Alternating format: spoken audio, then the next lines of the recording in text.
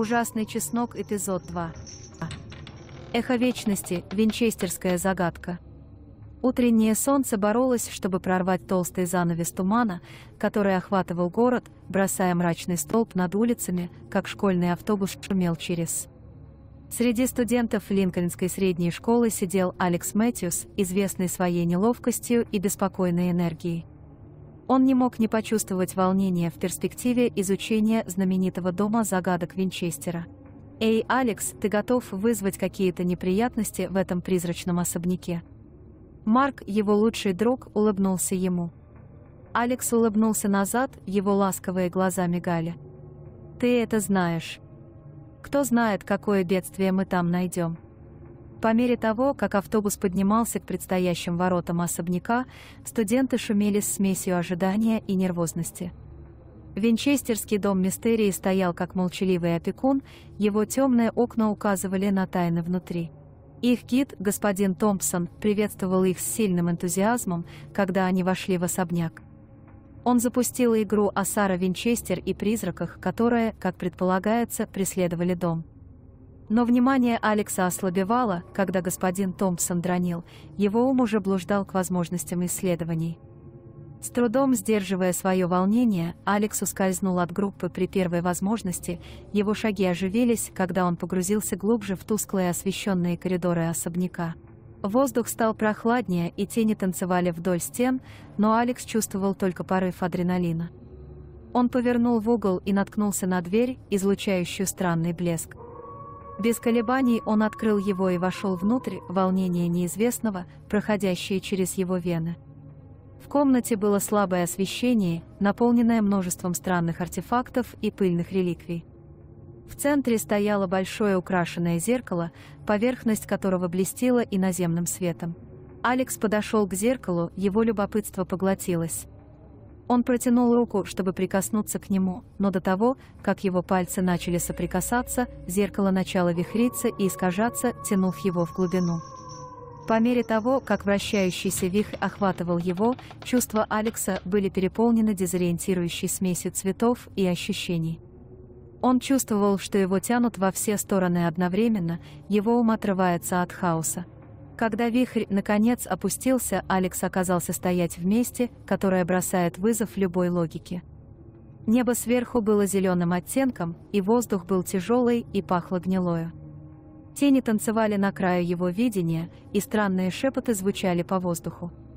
Чувство беспокойства опустилось на Алекса, когда он понял, что его больше нет в Винчестерском мистериальном доме.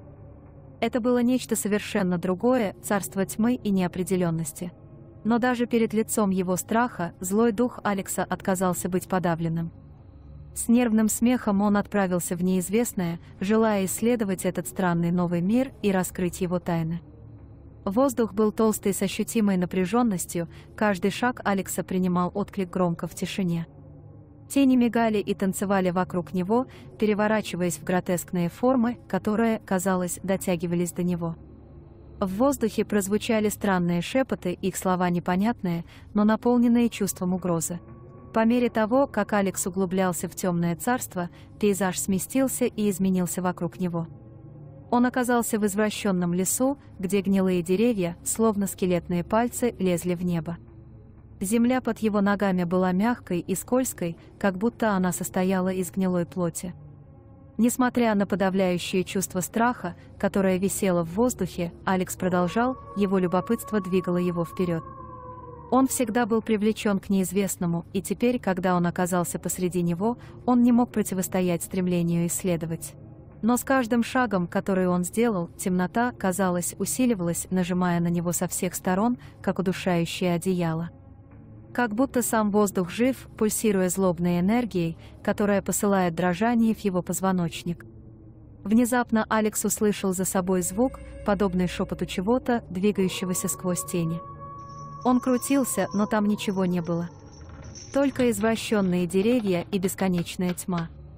Его сердце бьется, Алекс вынуждает себя двигаться вперед, его глаза нервно бьются из стороны в сторону. Ему пришлось найти выход из этого кошмара, прежде чем он полностью уничтожил его. Проходя сквозь лес, Алекс наткнулся на отверстие, купавшееся в страшном зеленом свете. В центре отверстия стоял громоздкий монолит, его поверхность вырезана странными символами, которые казались писать и сдвигаться перед его глазами.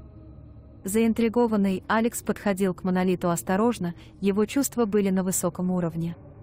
Он протянул руку, чтобы прикоснуться к ней, но как только его пальцы стали соприкасаться, в его руке прострелилась резкая боль, которая заставила его отступить в шоке. Монолит пульсировал темной энергией, его поверхность трескалась чужеземной силой.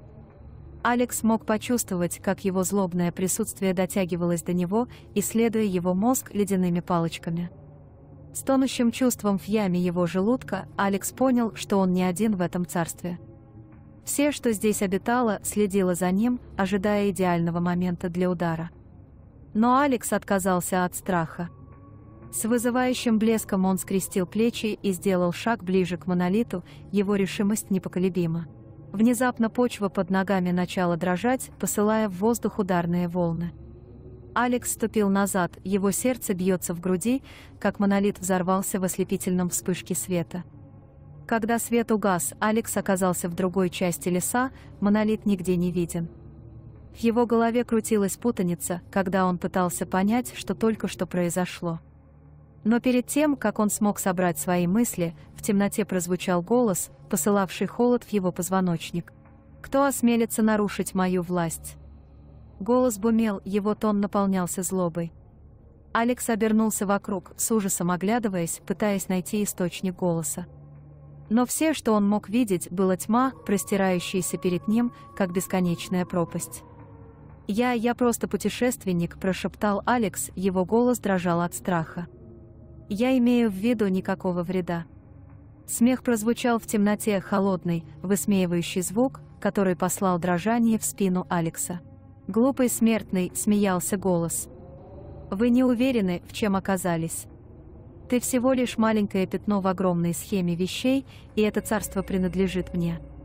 Сердце Алекса бросилось в грудь, как он отступил от голоса, его ум гонялся со страхом и неопределенностью. Он знал, что должен найти выход из этого кошмара, прежде чем он его полностью уничтожит. Но как только он повернулся, чтобы убежать, фигура вышла из тени перед ним, его глаза сияли злобным светом. Это было как ничто, что Алекс никогда раньше не видел, извращенное, гротескное существо с раздробленными рогами и кожаными крыльями. Его рот закручивался в злобную улыбку, как он продвигался к нему, его ногти вытянулись. С криком ужаса Алекс повернулся и убежал, его шаги громко откликнулись в темноте.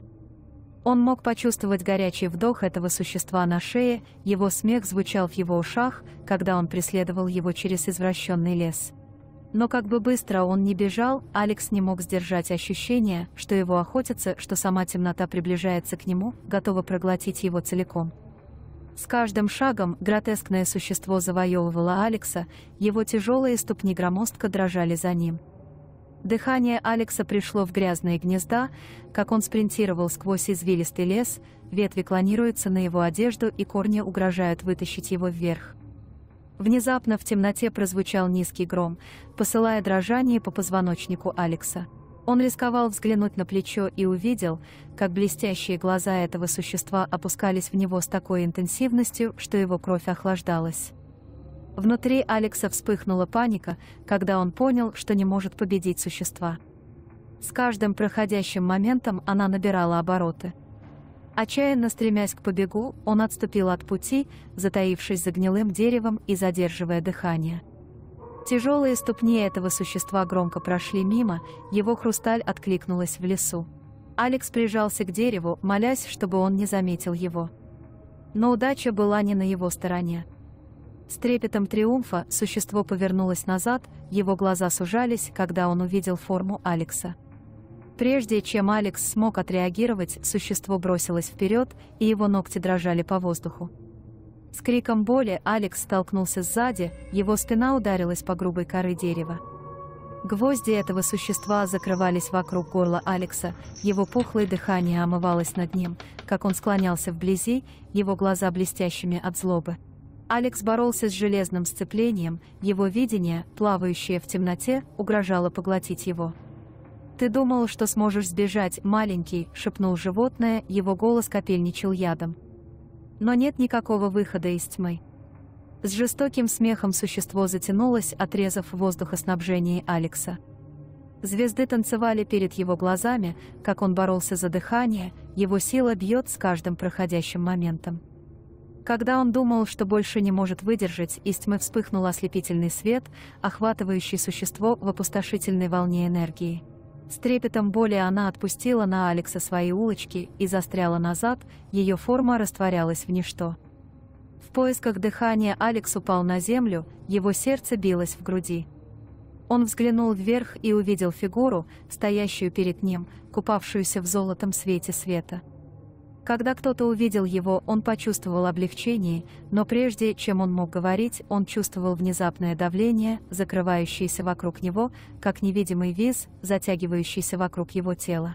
По мере того, как он пытался двигаться, его челюсть опухла, но как будто невидимая сила держала его на месте. Паника коснулась его груди, когда он понял, что он заперт, заключен в невидимый барьер. Что происходит? Алекс вздохнул, его голос дрожал от страха. Личность перед ним, зловещая тень в туманном свете, смехнулась темно. «Ты никуда не идешь, маленький», — подсмехнулся он, его голос капельчался от злобы. Страх проникся через Алекса, как он боролся против невидимого барьера, но он продержался, заключив его в его пределы. Он чувствовал себя беспомощным, уязвимым, по милости того существа, которое застряло в его ловушке. Смех существа прозвучал в темноте, жестокий звук, который посылал дрожание в позвоночнике Алекса. «Наслаждайся своим пребыванием», — пошевелил он, его голос откликнулся угрозой. Решив не сдаваться, Алекс сосредоточил свой ум, искав любую слабость в барьере, которая держала его в плену. Он выталкивал против него все силы, напрягая каждую мышцу в его теле. Но как бы тяжело он ни пытался, барьера держалась твердо, отказываясь сдаться его усилиям. Разочарование гнило внутри Алекса, как он продолжал толкать против барьера, каждая попытка встретилась с провалом. Он пытался ударить по ней кулаками, ударив по ней всеми силами, но это было так, как если бы барьер был сделан из твердой стали. Пота пролилась ему по лбу, когда он чистил зубы, отказываясь уступить отчаянию. Он должен был найти выход, должен был вырваться из этой тюрьмы, прежде чем существо поймало его. С толчком разочарования Алекс отступил, его ум гонялся, когда он рассматривал свои варианты. Он не мог прорваться через барьер только грубой силой, это было ясно. Ему нужно было найти другой путь, слабость, которую он мог бы использовать. Когда он размышлял о своем следующем шаге, на него наступило осознание – Барьер был не просто физическим препятствием, это было проявлением его собственного страха и сомнений. Как будто темнота сама взяла форму, питая его неуверенности и слабости. С этим новым пониманием Алекс глубоко вдохнул и закрыл глаза, сосредоточившись на барьере, стоящей перед ним. Он видел энергию, вращающуюся вокруг него, барьера, пульсирующую темной, злонамеренной силой. Но когда он сосредоточился, он почувствовал, что внутри него что-то изменилось. Как будто в темноте зажигался свет, изгоняющий тени и наполняющий его чувством внутренней силы. Опираясь на это новое намерение, Алекс вытянулся своим умом, пробуя барьер, чтобы обнаружить какую-либо слабость. И к его удивлению он почувствовал мигание сопротивления, крошечную трещину в темноте, которую он мог использовать. С приливом решимости Алекс ставит против трещины, его ум сосредоточен и неудержимый. Он почувствовал, как под его прикосновением трепещет барьер, а с каждым проходящим моментом его сцепление ослабевает. И затем, после окончательного взрыва усилий, барьер развалился, разваливаясь, как пепел в ветре. В поисках дыхания Алекс ступил вперед, его тело дрожало от истощения. Но времени на отдых не было. Существо все еще было там, охотясь за ним, и ему нужно было продолжать двигаться, если он хочет выжить. С возобновленной решимостью Алекс поднялся на ноги и проскочил сквозь лес, сердце его билось в груди. Он мог почувствовать присутствие этого существа, заглядывающего за ним, его злобная аура, посылающая дрожание вниз по позвоночнику. Но он отказался оглянуться назад. Он однажды освободился от тьмы и сделал это снова – Он сражался с каждой унцией силы до тех пор, пока существо не было побеждено, и он снова был в безопасности. Когда он бежал, блеск солнечного света становился все ярче и ярче, показывая его вперед, как маяк надежды в темноте. И с каждым шагом Алекс почувствовал, что его наполняет новое чувство цели, движущее его вперед к свету и обещанию свободы за пределами. Но путь к этому свету был наполнен опасностью, так как тьма, казалось, вращалась вокруг него, угрожая потушить последний мигатель надежды в его сердце. Призраки дрейфовали сквозь туман, их глаза сияли злобными намерениями. Они вытянулись спектральными руками, их пальцы кружились вокруг горла Алекса, отжимая от него жизнь.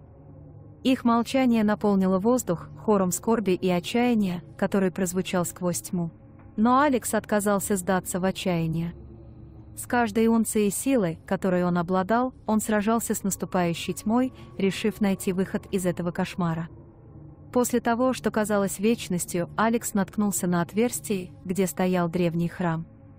Его разваливающиеся стены, словно молчаливые опекуны, обрушились на него, и над ним, как над веревочкой, заселилось чувство предчувствия. Игнорируя хладнокровие, застрявшее в его позвоночнике, Алекс вступил внутрь храма, сердце его билось от страха. Воздух был толстым запахом смерти, а стены, казалось, пульсировали зловещей энергией. По мере того, как он углублялся в храм, в темноте громко звучали следы Алекса. Единственным звуком был капель воды из чего-то невидимого и время от времени крик древнего камня. Внезапно он услышал голос, слабый и далекий, откликнувшийся в темноте. «Помоги мне!» Голос послал дрожание в спину Алекса. Она была наполнена отчаянием и печалью, и казалось, что она приходит со всех сторон и ниоткуда одновременно. Сердце бьется, Алекс следует за звуком, его шаги откликаются через пустые залы храма. Голос вел его все глубже в темноту, пока он не достиг комнаты, купавшейся в странном голубом свете. Там он увидел призрачную фигуру женщины, ее форму транспарентную и эфирную. Глаза ее были пустые и наполнены скорбью, и она протянулась к нему трепещущими руками. «Пожалуйста», — шепнула она, ее голос чуть больше шепота. «Ты должен мне помочь». Сердце Алекса пришло к призрачной женщине. Он мог почувствовать ее боль, ее страдания, и он знал, что ему нужно что-то сделать, чтобы помочь ей. «Что я могу сделать?» Спросил он, наполненный состраданием голос. Глаза женщины расширялись надеждой, когда она говорила. «Меня зовут Энни, и я застрял в этом месте. Я был убит той же темнотой, которая теперь преследует это место». Когда она говорила, стены комнаты казались блестящими и бледневшими, раскрывая сцену ужаса и хаоса. Алекс с ужасом смотрел, как Энни рассказывает о событиях, которые привели к ее смерти – «Это было проклятие винчестерской винтовки», — объяснила она, а ее голос дрожал от эмоций. «Моя семья построила свое состояние на крови других, и теперь мы прокляты, чтобы разгуливать эти залы на вечность». Кровь Алекса охлаждалась от ее слов. Он слышал о проклятии винчестерской винтовки, о том, что она принесет смерть и отчаяние всем, кто ее владел. Но он никогда не думал, что это может иметь такое глубокое воздействие на тех, кто был затронут его тьмой. Решив помочь Энни найти мир, Алекс обыскал камеру, чтобы найти любые признаки выхода. И тогда он увидел это, блестящий портал, который, казалось, ведет в другое царство. С чувством цели Алекс шагнул вперед и вытянулся к порталу, чистив пальцы против его поверхности. К его удивлению, она поддалась его прикосновению, открываясь перед ним, как ворота в другой мир. Не колеблясь, Алекс обратился к Энни и протянул руку. «Приходите со мной», — сказал он, его голос наполнился решимостью. «Мы можем сбежать из этого места вместе». Энни на мгновение колебалась, неопределенность мигала в ее глазах. Она оглянулась назад на крутящуюся за ними тьму, тремор, пробежавший по ее позвоночнику. Но потом с трепетом она взяла руку Алекса, ее пальцы переплелись с его. Когда они вместе шли вперед, чувство надежды расцвело в груди Алекса. Он мог почувствовать тепло в руке Энни, успокаивающее присутствие в темноте. Но как только они собирались пересечь порог портала, через камеру прозвучал громкий гром. Земля дрожала под ногами, и прежде, чем они смогли отреагировать, огромная рука вытянулась из темноты и схватила Энни за руку. «Энни!» Алекс закричал, его сердце билось от страха. С отчаянной борьбой Энни попыталась освободиться от схватки существа, ее глаза открыты ужасом. Но удержание этого существа было, как у железа, неустанное и беспощадное. «Иди, Алекс. Спаси себя!» Энни кричала, ее голос наполнился горечью. Но Алекс отказался ее бросить. С ожесточенной решимостью он устремился вперед, протягивая руки, чтобы освободить Энни от схватки этого существа. Их пальцы на мимолетный миг зачесали, и потом, внезапно вспыхнув в силе, существо отвлекло Энни от него. Она кричала, когда ее тянули обратно в темноту, ее форма исчезала в вращающихся тенях. «Нет, Алекс кричал, его сердце разбивалось, когда он смотрел, как Энни исчезает перед его глазами. И затем, с жестоким толчком, он был вытеснен вперед, упав с головой в ворота. Мир вращался вокруг него в тумане света и тьмы, и на мгновение он чувствовал, что падает через бесконечную пустоту. И потом, с шумом, он приземлился на землю, дыхание бьется из его легких. Он лежал там на мгновение, озадаченный и разочарованный, пытаясь понять, что только что произошло. Он медленно поднимался к ногам, кружив головой, глядя на окружающую его обстановку. Он стоял посреди огромной пустынной пустыни, воздух толстой пылью и пеплом. Пейзаж простирался перед ним, опустошенный и безжизненный, с раздробленными камнями, поднимающимися из трещины земли, как кости какого-то давно мертвого существа. С тяжелым сердцем Алекс двигался вперед, его ботинки поднимали облака пыли с каждым шагом. Солнце безжалостно спускалось сверху, бросая суровые тени по бесплодному ландшафту. Когда он шел, он не мог удержаться от ощущения того, что его наблюдают, как будто невидимые глаза следили за каждым его движением. Он взглянул на плечо, но там не было ничего, только пустое пространство пустыни, простирающееся за ним. С решительным настроем на челюсть Алекс продолжал, его разум соперничал с мыслями об Анне и о обещании, которое он сделал ей. Ему пришлось найти способ спасти ее от тупиков тьмы, чтобы это не заняло. После нескольких часов прогулок Алекс, наконец, достиг основания темного замка, который он видел издалека. Его стены покрывались головой, бросая длинные тени по бесплодному ландшафту. Без колебаний Алекс начал подниматься, его пальцы находили покупку на грубом камне, как он тянул себя вверх. Подъем был предательским, с распущенными камнями и разваливающимися ребрами, которые угрожали отправить его вниз на землю. Но Алекс отказался сдаваться. С каждой унцией силы, которую он обладал, он двигался вперед, его сердце бьется решительно. Наконец он достиг вершины стен замка и оглянулся над краем. То, что он увидел, отняло у него дыхание. Перед ним простирался огромный, обширный город, его здания поднимались в небо, как монолиты из камня и стали. Но в городе было что-то не так, что было извращенным и неестественным. Улицы были пустыми, лишенными жизни, и толстый туман висел над всем, как веревка. И в центре города Алекс мог видеть темные спиры огромного храма, его почерневшие стены, пульсирующие с чужой энергией. С тонущим чувством в яме его желудка Алекс знал, что это то, куда он должен идти. Он должен был найти Энни и положить конец темноте, которая завязывала их обоих. С глубоким дыханием Алекс прыгнул с стены замка и грациозно приземлился на улицах ниже. Без колебаний он отправился в сторону храма, и его стопы громко звучали по пустым улицам. По мере того, как он углублялся в глубины храма, Алекс столкнулся с ужасами, которые не могли себе представить.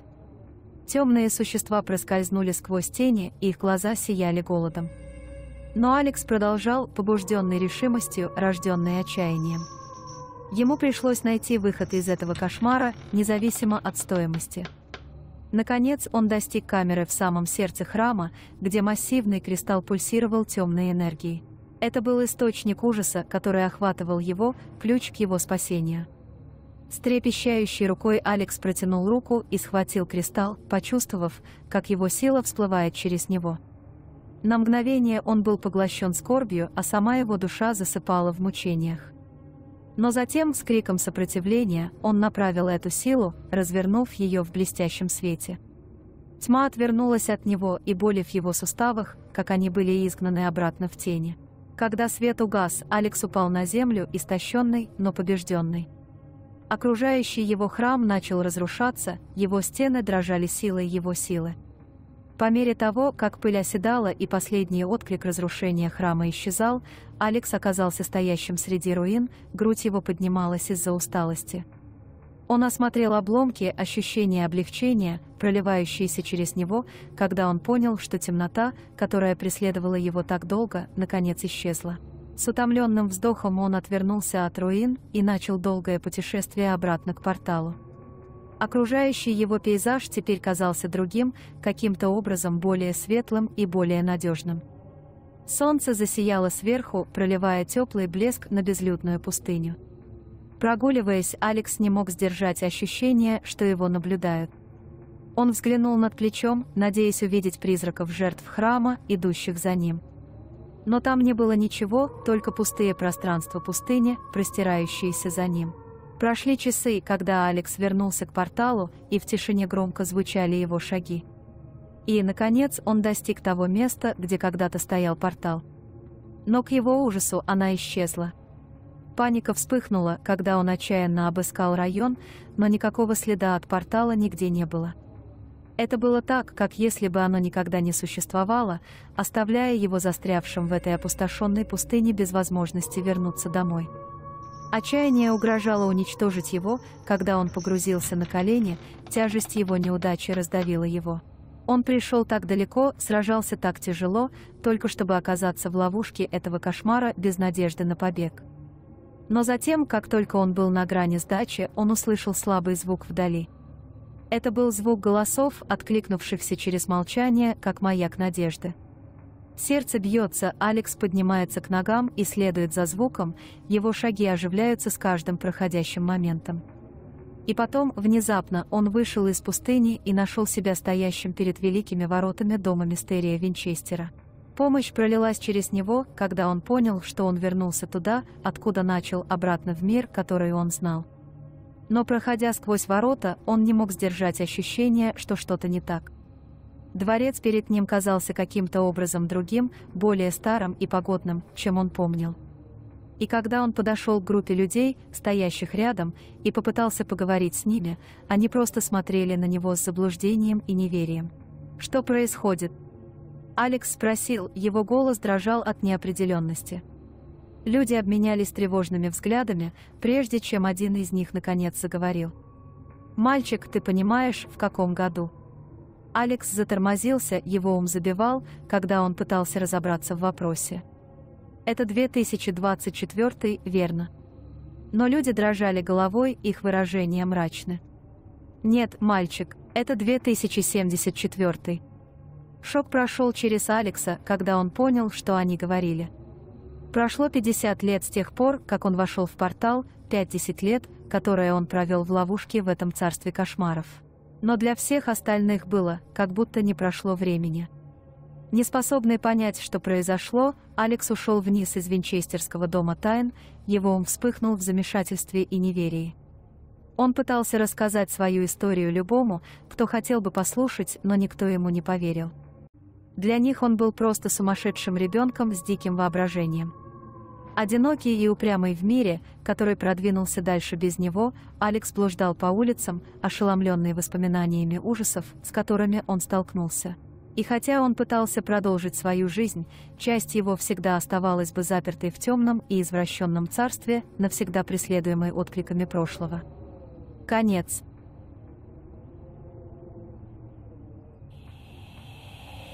Спасибо, что присоединились к этому леденящему душу путешествию.